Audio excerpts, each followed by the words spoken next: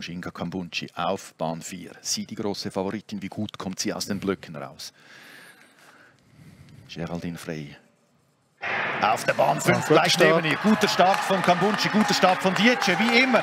Und es ist äh, Kambunchi, die gewinnt. Und es ist Puente und 7-0-4. Eine Hundertstel Sekunde über dem Schweizer Rekord. Vielleicht wird diese Zeit noch korrigiert. Michel Herren steht bereit für das Interview 7.05. Es wird nach oben korrigiert. Dann macht es halt in Belgrad. Das ein Wort. Geraldine Frey. Und äh, 7.15 für. Geraldine Frey. Wieder eine Steigerung. Auch unter der WM-Limite. 7,29 und äh, Michel Herren, äh, 7,29 für Ricarda Dietsche. Und äh, Michel Herren versucht jetzt Mushinga abzufangen.